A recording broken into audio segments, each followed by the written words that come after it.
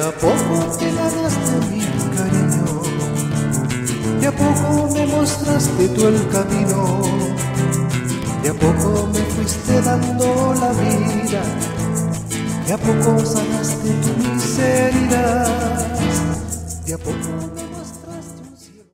En una nueva vida, una nueva vida todos los días, ya lo hemos dicho y lo vamos a decir siempre. Cuando abre los ojitos en la mañana, Señor, un día nuevo, una oportunidad más de hoy día ser un poquito mejor que ayer, de hoy día acercarme un poquito más a ti, que tu corazón y el mío estén ahí un poquito más unidos para que seas tú el que pueda ir mandando en mi vida y yo pueda ir achicándome. Así es, hermanos queridos.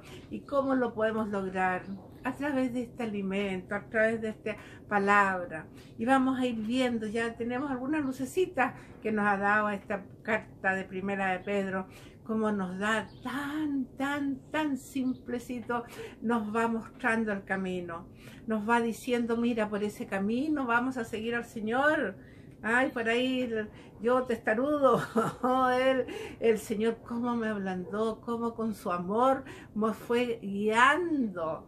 Eso quiero, dice Él, que hacer contigo también, que tengamos esa luz. Y por eso aquí en primera de Pedro 1, 15, 16, mira lo que nos dice, mira cómo nos ayuda.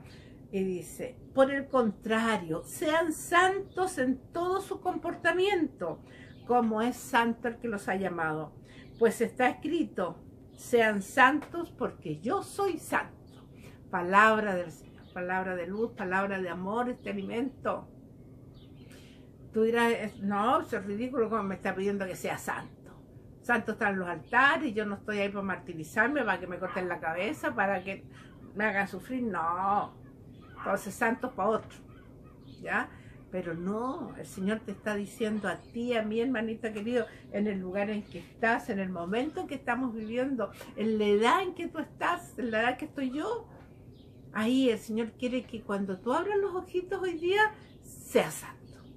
¿Y cómo lo podemos hacer? Es decirle, Señor, aquí estoy. Hoy día todo tuyo. Aquí, Señor, haz lo que quieras conmigo, como esa cera blanda, hazla, acomódame, si por ahí yo estoy por un camino que no corresponde, rómpeme de nuevo y empieza de nuevo a hacerme. Y ahí el Señor, cuando tú te entregas a Él en este día, en este momento, quiere que seas santo. Sí, no necesitas irte por allá lejos, a que te martirices, no, ahí, en tu casa, en tu trabajo, en el campo, en la playa, en la montaña, en la cama, caminando, ahí donde tú estás escuchando, donde tú estás mirando, lo que tú estés haciendo lo haces de corazón, lo haces por amor a Dios y lo haces lo mejor, lo mejor que tú puedas, sin estar alegando que no me gusta, que esto de nuevo, que hace frío, que calor, que tan pesado, que estoy aquí, que yo quería voy por acá, yo quiero ir por allá y no, no. Sino que sencillamente, Señor, tú sabes esto que estoy haciendo no es lo que más me gusta, pero si tú me lo has propuesto y tengo que hacerlo, lo hago por amor a ti y contento, igual como tú, a pesar de tus sufrimientos, ibas alegremente, ofrecido voluntariamente a entregar tu vida por mí. Y ahí estás siendo santo, santo, haciendo en el momento que vivimos, en el lugar que vivimos, en la edad que tenemos, en la circunstancia que estamos viviendo, hacemos lo mejor que lo podemos. Y lo hacemos de corazón. Señor, corazón a corazón, trabajamos. Y tú me ayudas. Y le decimos a la mamita Virgen que nos ayude y nos cubra con su manto. La santidad brota. hay tantos santos que hay que todavía no han llegado a los altares con el tiempo, pero han vivido santamente como tú y yo tenemos que vivir cada día santamente en la voluntad, en la alegría y en el amor del Señor. Así que digámosle, Señor, ayúdame, aumenta mi fe, ayúdame a hacer tu voluntad, ayúdame a que yo desaparezca, que seas tú el que vaya. Y cuando yo vaya por este camino que no corresponde, tú me dices, vamos, volvamos al camino que yo soy, la verdad y la vida. Y yo estaré siempre contigo para levantarte y porque quiero que hoy día tú seas santo, porque tú vas a ser feliz y eso es lo que yo quiero, te dice el Señor, que tú seas feliz. Digámosle, Señor, ayúdame a no defraudar.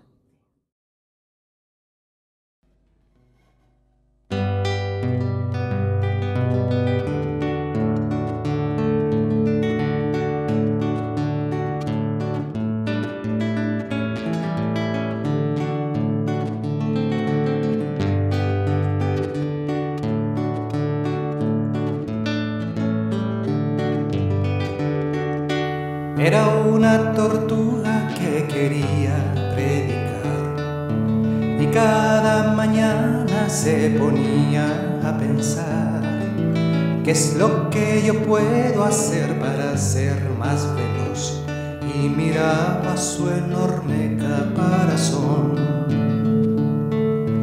Esto no me sirve para yo ser más veloz y mirando al cielo Jesús se dirigió.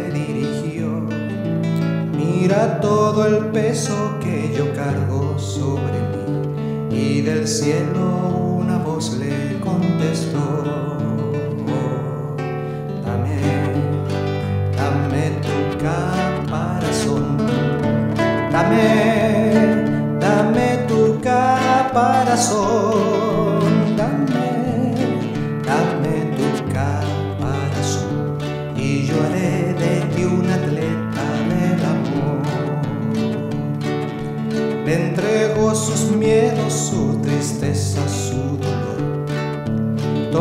sus fracasos y sus faltas de perdón.